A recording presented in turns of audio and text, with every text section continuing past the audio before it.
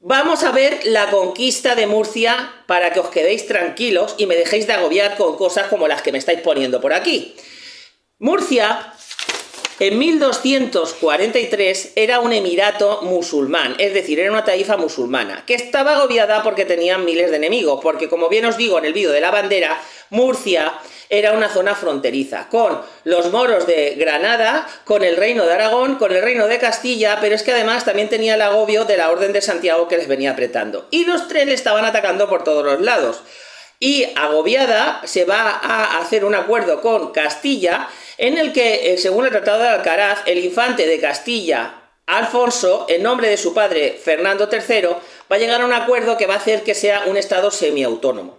Es verdad que en el Tratado de Alcaraz ya desde el minuto uno hubo zonas que no lo respetaron y que tuvo que intervenir militarmente Castilla para que estos pueblos cedieran, que dos de ellos no lo hicieron y fueron tomados y administrados directamente por Castilla desde ese momento, que fueron Mula y Cartagena.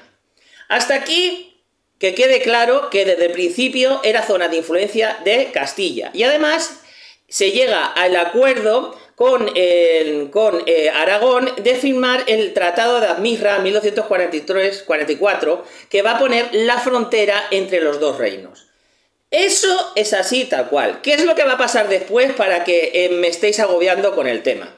Bueno, pues cuando llega Alfonso X al poder se encuentra con que si quiere crear reinos cristianos, pues tiene que saltarse lo, firmado. ¿Por qué? Porque los moros son moros y quieren hacer morerías. Y esto deberíamos de recordarlo de nuestros antepasados para todos los que estamos trayendo aquí. Un moro es un moro y va a actuar como un moro, no va a cambiar.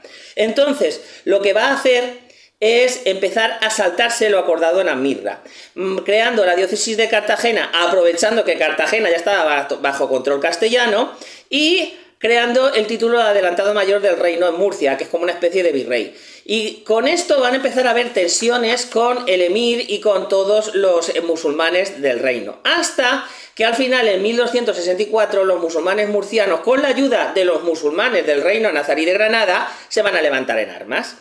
¿Qué es lo que ocurre? Que el rey Alfonso X el Sabio también había conquistado tierras en Andalucía y estaba haciendo lo mismo que estaba haciendo en Murcia. Y esta rebelión va a coincidir con la de los andaluces, porque tontos los murcianos no eran.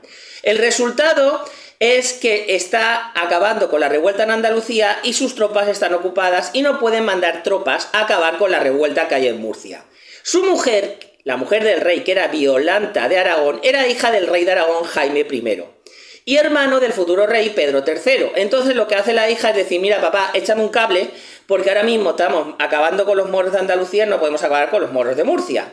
Y el rey, que era un rey muy importante y en la historia lo ha sido, cumple y va a ayudar a los castellanos y acaba entre 1265-1266 con la revuelta de los musulmanes en Murcia, acabando con la manera que tenían de gobierno, que era un gobierno semiautónomo, pasando ya totalmente a estar bajo dominio de Castilla. El rey en ese momento podía haberse quedado Murcia, podía, pero no lo hizo. Lo que sí que hizo es llevarse un montón de mm, gente que va a colonizar las nuevas tierras. Su ejército era íntegramente catalán y eso también va a ocurrir con sus colonos y va a empezar a crear un montón de colonos que se van a quedar en lo que es el sur de Alicante y el norte de Murcia. Y esto va a ser muy importante porque posteriormente, cuando exista la, eh, la guerra entre Aragón y Murcia y este se vaya a anexionar el sur de Alicante, toda esta población que vino con Jaime I va a apoyar la anexión a Aragón. Por eso fue tan fácil la anexión del sur de Alicante, porque la población era de origen aragonés. Bueno, dicho esto y aclarado este punto, ¿qué pasa después? Pues que el rey Jaime I se retira, Alfonso X el Sabio se queda con Murcia, les quita los privilegios, a los que no estado de acuerdo no se van a Granada y todo se vuelve a la normalidad. En ningún momento Murcia pasa a ser de Aragón.